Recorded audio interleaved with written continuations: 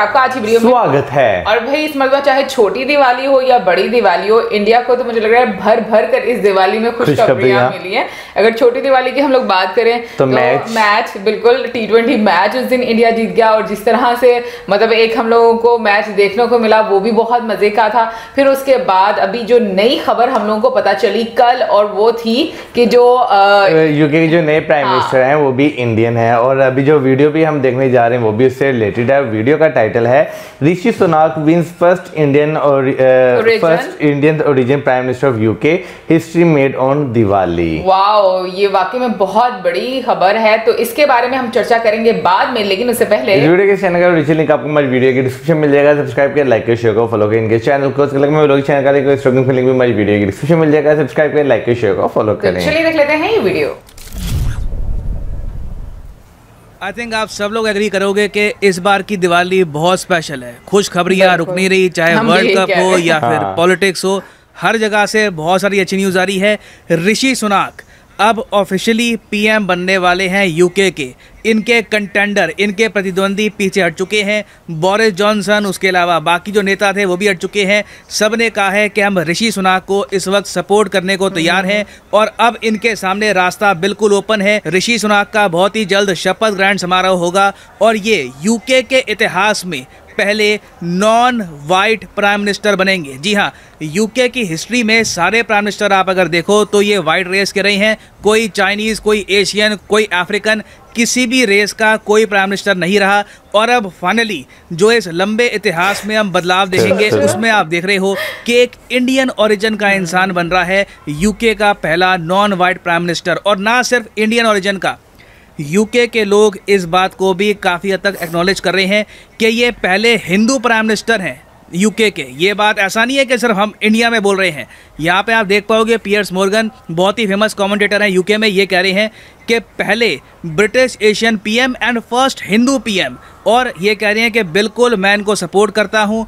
42 years की इनकी age है। यंगेस्ट प्राइम मिनिस्टर है मॉडर्न टाइम्स के। और ये बिल्कुल ब्रिटेन की इकोनॉमी को वापस खड़ा कर देंगे। और अगर आप सोच रहे हैं कि इंडिया में लोग इतना खुश क्यों हो रहे हैं, देखिए, आप जो सिंबोलिज्म है ना इस सब का, इसे आप इग्नोर कर नहीं सकते। आपको है कि इस साल हम लोग सेलिब्रेट कर रहे हैं seventy fifth anniversary of independence now जिस साल हम लोग सेवेंटी फिफ्थ एनिवर्सरी हम सेलिब्रेट कर रहे हैं उसी साल जिस देश ने हमको गुलाम बना के रखा था वहाँ का पीएम बन रहा है एक इंडियन ओरिजिन का आदमी और वो शपथ ग्रहण समारोह भी किस पे करेगा? वो शपथ लेगा भगवत गीता। पर। तो देखिए हमारे कल्चर से जुड़ी हुई चीज़ें हैं कहीं ना कहीं लोग रिलेट करेंगे कहीं ना कहीं लोग खुशियाँ बनाएँगे कि एक ऐसा व्यक्ति जो ओपनली कहता है कि I am a proud Hindu वो अपनी इंडियन हेरिटेज को छुपाता नहीं है वो यूके में एक राइट विंग पॉलिटिकल पार्टी के थ्रू यूके का पहला नॉन वाइट पीएम बनेगा, ये एक हिस्टोरिक अकॉम्प्लिशमेंट है। क्योंकि यूके का आप अगर पॉलिटिकल सेटअप देखो यूके में तीन मेन पॉलिटिकल पार्टीज़ हैं एक्चुअली दो आप कह सकते हैं लेबर और कंजर्वेटिव इस वक्त यूके में कंजर्वेटिव पार्टी पावर में है। Boris Johnson Liz Truss Rishi Sunak ये सब कंजर्वेटिव पार्टी को बिलोंग करते हैं। यूके में पार्टियाँ नहीं बदल रही। सेम पार्टी के अंदर ही पावर स्ट्रगल हो रही है। कभी कोई पीएम बनता है कभी कोई पीएम बन रहा है। तो आप सोच कर देखिए कि कंजर्वेटिव पार्टी जो यूके में राइट विंग पार्टी है जिस तरीके से आप अगर यूएसए में देखो तो रिपब्लिकन पार्टी इनकी होती है राइट विंग डेमोक्रेट पार्टी होती है लेफ़्ट विंग जब बराक ओबामा बने यूएसए के प्रेसिडेंट तब ये एक लेफ़्ट विंग पार्टी के थ्रू बने थे। मगर ऋषि सुनाक ने उससे भी बड़ा काम कर दिया। एक राइट विंग पॉलिटिकल पार्टी से एक इंडियन ओरिजिन का आदमी पीएम बन रहा है। ये रिमार्केबल है। This is very special now मुझे यहाँ पर बिल्कुल ऐड करना पड़ेगा कि ऐसा नहीं है कि इनके लिए रास्ता बिल्कुल साफ़ है, फूलों से बिछा हुआ है। रेसिज्म ऑलरेडी ये फेस कर रहे हैं। रेसिज्म आगे भी इनको फेस करना होगा। यूके में सब लोग पढ़े लिखे नहीं हैं सब लोग ओपन माइंडेड नहीं हैं। कि जी आदमी का रेस उसका रिलीजन ये सब आपको देखना नहीं चाहिए। बस उसके काम पर फोकस करो। तो ऑब्वियसली कुछ लोग इस बात पर फोकस नहीं करेंगे। उनका मेन फोकस रहने वाला है कि इस आदमी का स्किन कलर कैसा है। ये मुझसे अलग कैसे है? इसका जो रिलीजन है मुझसे अलग कैसे है? तो इस इशू को लेकर इनको कहीं ना कहीं रेसिज्म फेस करना होगा। और यहाँ पर आप देख पाओगे इस टाइप की इमेजेस कुछ लोगों ने शेयर करी यूके में। हालाँकि मैं ऐड करूँगा। कि यूके के ही बहुत सारे लोगों ने ऐसी इमेजेस की निंदा करी। और फिर मीडिया में भी अगर मान लो कि लाइव कोई शो चल रहा है, वहाँ पे अगर कोई कॉलर फ़ोन करके कहता है कि ऋषि सुनाक तो ब्रिटिश है ही नहीं उसके जवाब में यूके के जर्नलिस्ट कहते हैं कि नहीं, ऋषि सुनाक तो ब्रिटिश हैं। ये इससे पहले बोरिस जॉनसन के अंडर यूके की सरकार का पार्ट रह चुके हैं।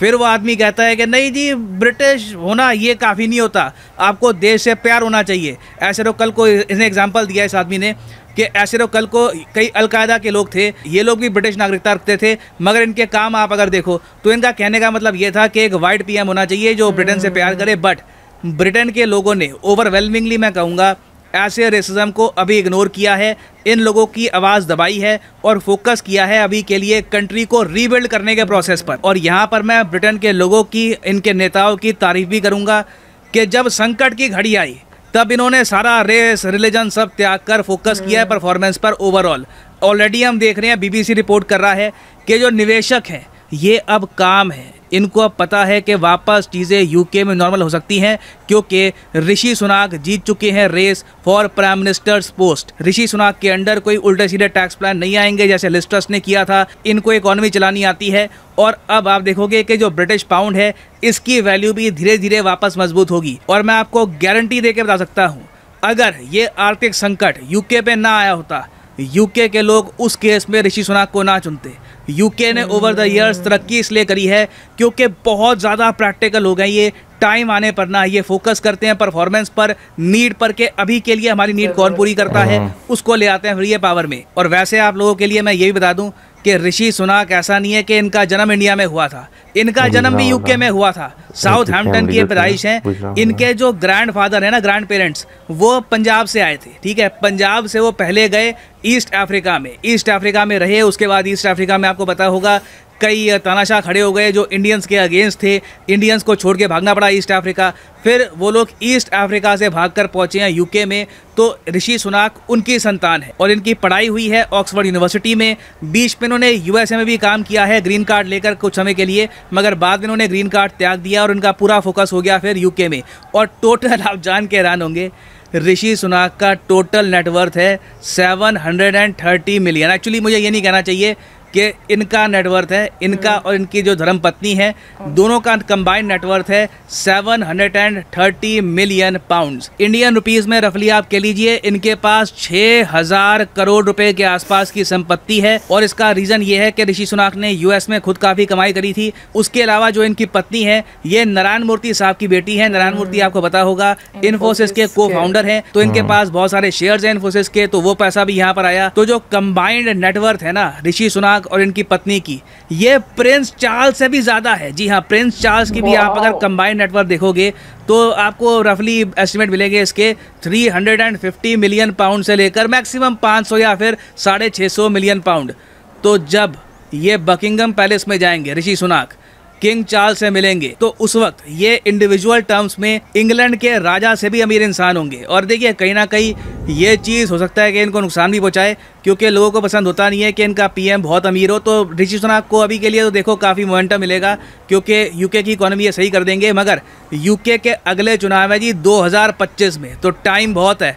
तो इस टाइम में पॉसिबल है कि जो इनके प्रतिद्वंदी हैं ये एक बार को ऋषि सुनाक की जो नेटवर्थ है, जो इनकी वाइफ का ओरिजन है, इनकी वाइफ इंडियन ओरिजन की है, इस पर थोड़े क्वेश्चन रेस करें। बट ओवरऑल आप अगर पॉजिटिव साइड में देखो तो इतिहास बन चुका है और ऋषि सुनाक के आने से पॉसिबिलिटी है कि इंडिया यूके का जो फ्री ट्रेड एग्रीमेंट है, जो बिल्कुल अटक गया था, ये भी हो सकता है कि रिवाइव हो जाए। और ऋषि सुनाक ने ऑफिशियली ये भी कहा है कि चाइना के अगेंस्ट ये बड़ा एक्शन लेंगे। जो भी कन्फ्यूचर सेंटर है यूके में इसको बंद करा देंगे। तो चाइना के अगेंस्ट डेफिनेटली ये बहुत बड़े एक्शन लेने वाले हैं। और फाइनली यहाँ पे मैं आपसे क्वेश्चन पूछूँगा जिसका आंसर आप सब लोग करोगे। कॉमेंट सेक्शन में क्वेश्चन यहाँ पर यह है कि यूनाइटेड किंगडम कितने कंट्रीज़ से मिलके बनता है? यह है। यहाँ पे आपकी ऑप्शन तो दो देश पाँच देश चार देश या फिर दस देश? कमेंट सेक्शन में करिए उत्तर। सही आंसर मैं आपको दूँगा नहीं बहुत ही सिंपल क्वेश्चन है इसका आंसर आपको पता होना चाहिए। और फाइनली यहाँ पर मैं ऐड कर दूँ कि अन अकेडमी की जो 25 परसेंट सेल है इसका आज है आखिरी दिन। यूजुअली ये डिस्काउंट होता है टेन परसेंट का। दिवाली के कुछ ही दिनों के लिए ये डिस्काउंट है पच्चीस परसेंट का फ़र्स्ट थ्री हंड्रेड बायर्स के लिए। तो आपको क्या करना है? कमेंट सेक्शन में जाओ यहाँ पे आपको मिलेगा यूपीएससी का लिंक और अगेन यहाँ पे कोड आज के लिए आज और 24 तारीख के लिए कोड पी डी टेन मत डालना. आपके लिए एक स्पेशल कोड बनाया गया है. ये कोड यहाँ पे आपको दिख जाएगा D L H seven zero eight C P ये कोड आप अगर डालोगे तो सीधा 25 परसेंट का मैसिव डिस्काउंट आपको मिलेगा. दिखाता हूँ आपको। यहाँ पे नीचे लिंक दिया है लिंक पे आपने क्लिक किया। उसके बाद यहाँ पे आप देख पाओगे, ये आपको प्राइसेस दिख रहे हैं। ये प्राइसेस बहुत ज़्यादा कम हो जाएँगे अगर आप ये code D L H seven zero eight C P यहाँ पर डालोगे। Massive massive discount the prices will start following a lot यहाँ पर आप देख पाओगे, सीधा 25 परसेंट डिस्काउंट अन अकेडमी ऐसा कभी नहीं करता।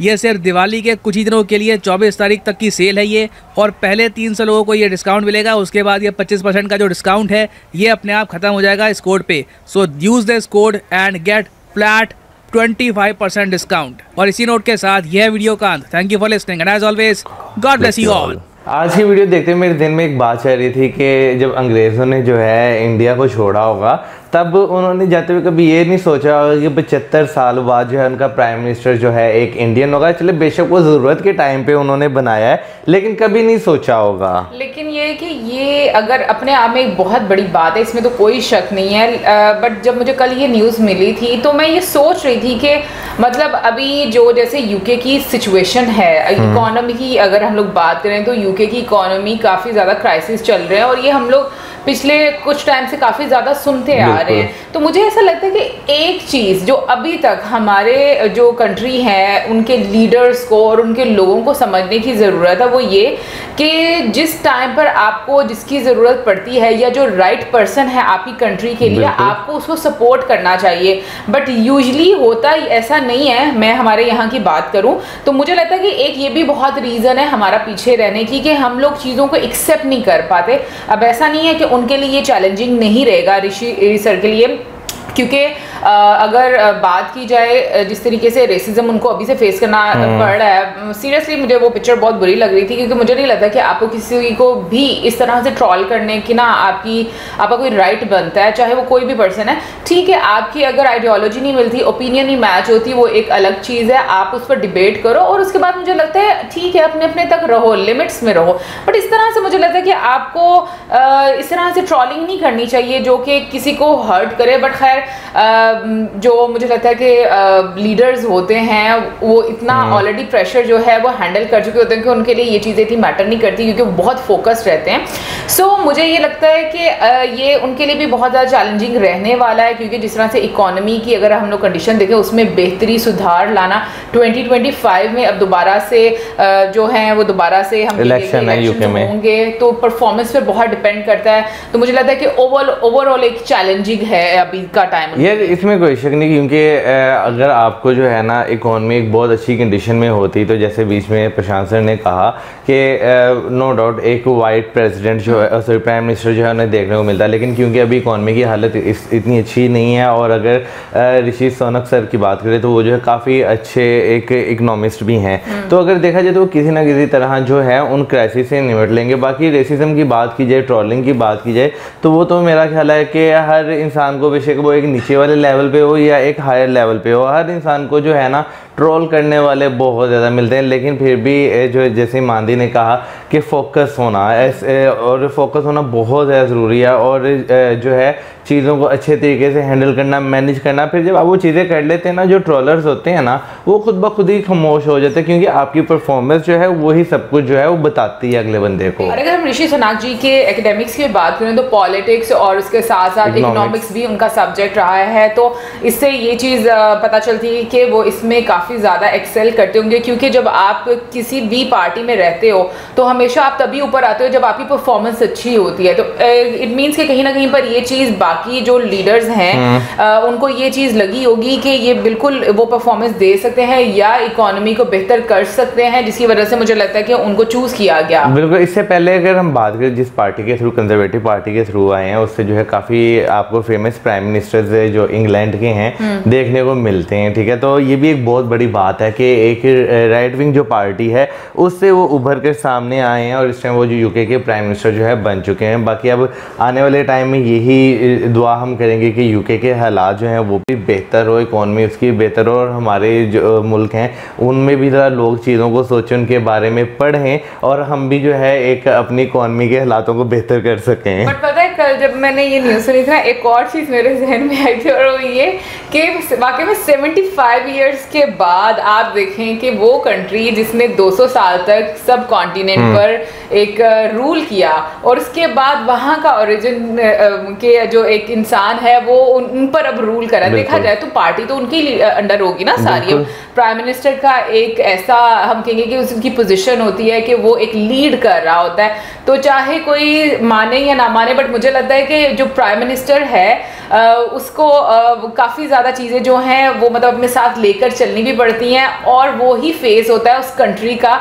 उसी के नाम से उस कंट्री को जो है, वो जाना जाता है। और जहाँ तक बात है कि जो लोकल लोग होते हैं, मुझे लगता है कि वो वाकई में प्राउड फील करते हैं, खुशी महसूस होती है कि चाहे अ, मतलब वो वहाँ की कंट्री के लिए उनकी बेटरमेंट के लिए काम करेंगे लेकिन आपकी कंट्री से उनका नाम जुड़ा है उनके एंसेस्टर्स का नाम जुड़ा है। सो मुझे लगता है कि ये चीज़ें लोगों के लिए तो मुझे लगता है कि बहुत ज़्यादा ये मायने रखती हैं और खुशी भी देती हैं। बाकी आने वाले टाइम में क्या क्या अब बेहतरी आएगी वो तो हम लोग देखेंगे। लेकिन अ, मुझे लगता है कि जिस तरीके से हम लोग चेंजेस देख रहे हैं ना मतलब अम, जैसे रेसिज्म पहले बहुत ज़्यादा था गोरों में और फिर मतलब अभी भी वो बहुत ज़्यादा रेसिस्ट हैं। और मैं कहती हूँ कि अभी डिजिटल वर्ल्ड जिस तरह से चेंज करती जा रही है लोगों की सोच को लोगों की प्रेफरेंसेस को वो चीज़ मुझे लग रहा है कहीं ना कहीं पर एक एक पॉजिटिविटी लेकर आ रही है क्योंकि पहले तो कोई शायद ऐसा सोच ही नहीं सकता था बट अभी एटलीस्ट वो चीज़ें हो रही हैं जो कि पॉसिबल हैं। और भाई आप ज़रूर बताइएगा कि आपको क्या लगता है कि ऋषि सोनाक जी के प्राइम मिनिस्टर बनने से क्या बेहतरी आएगी या जो इंडिया के साथ लाइक जो हम कहेंगे कि जो इन्वेस्टर्स हैं क्योंकि बहुत सारे बिजनेसमैन जो हैं वो मतलब यूके में उनके बिज़नेस हैं। हाँ इंडियन इन्वेस्टर्स हैं। उनके लिए क्या और ज़्यादा हम कहेंगे कि एक अच्छी न्यूज़ अच्छी अपॉर्चुनिटी हो सकती है ज़रूर बताइएगा हम लोगों को कमेंट सेक्शन में। और इसी के साथ हमें ज़्यादा लाइक सब्सक्राइब गुड बाय